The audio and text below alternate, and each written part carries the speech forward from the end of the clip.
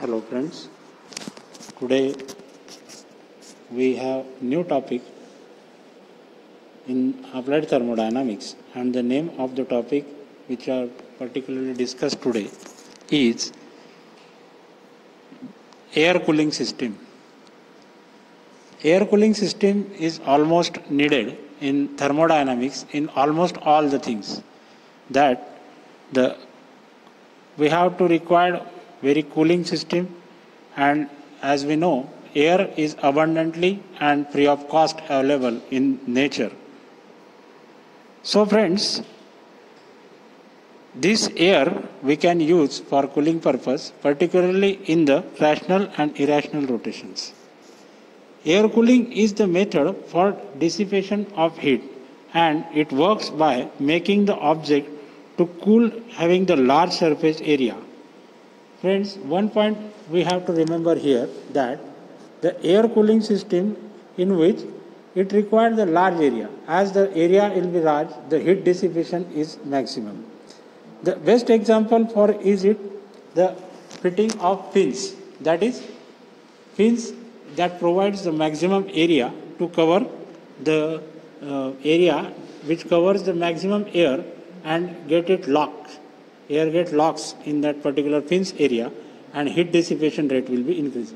The same fins we can see on the top head of IC engine uh, head, block piston block head. We can see the various types of pins are provided there for maximum heat dissipation and these pins we can see the, which increase the area of particular surface and heat dissipation rate is also increased and this area of cooling increase the rate of interest uh, rate of heat dissipation rate. Now, in case of retroheating done, it is used the following air into object and wants to cool. In many cases, the addition of fins adds to the total surface area and making the heat sink make it great efficiency in air cooling. So the very important aspect of air cooling is used in IC engine mostly. In all the cases of IC engine, it has been cooler than object or surface for which it is expected to remove the heat.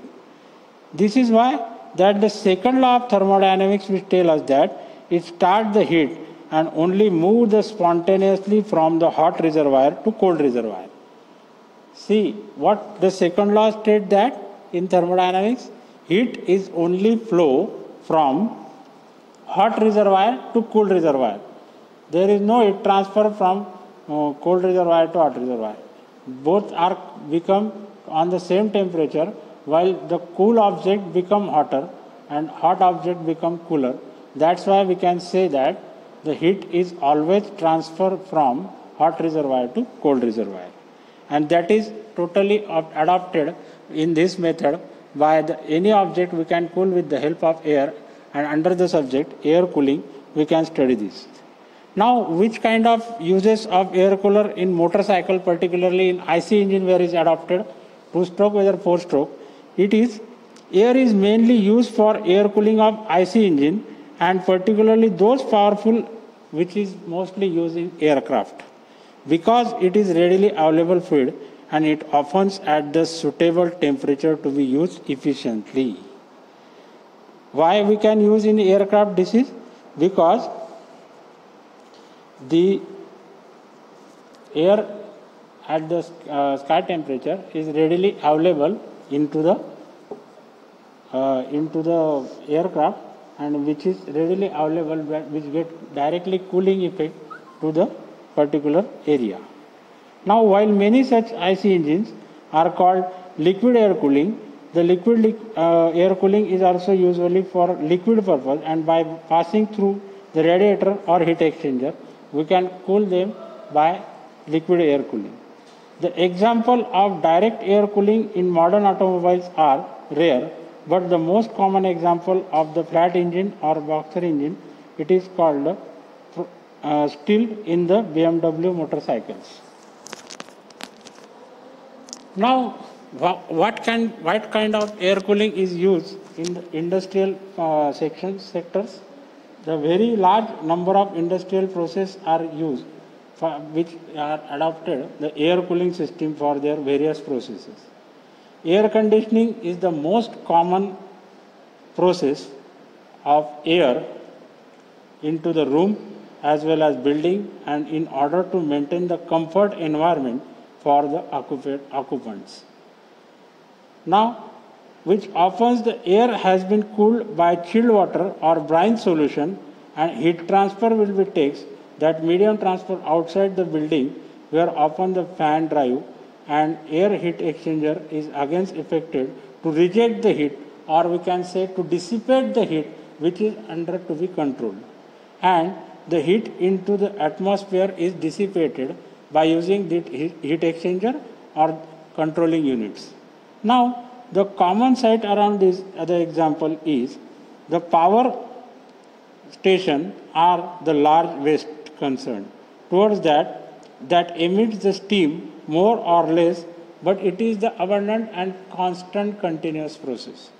While they are running, they continuously use the somewhat outlets and these are in parts using the cooling or grand scale. Now we can see evaporative cooling. In front of your screen you can see the evaporative coolers which can be adapted various parts with their important cycles provided in which for cooling purpose there is the blower is fitted center, at the center of uh, the engine and inlet outlet ports are given the fan which continuously rotates and the heat heat incoming area which is shown by the red arrow and hot dry saturated air with the red arrow. The controlling unit is underfitted into the uh, along the blower and the heat dissipation evaporated cooler cooling air is available for ready use. Now from total Estimation of these types of content can be calculated with the help of theoretical as well as numerical. For this point particularly, we can see the various functions and various types of cooling, their uses and adoption in IC engine area. This is the single point which is used in the IC engine cooling. Thank you very much, friends. In the next topic, we can see the to uh, topic on next point. Thank you very much.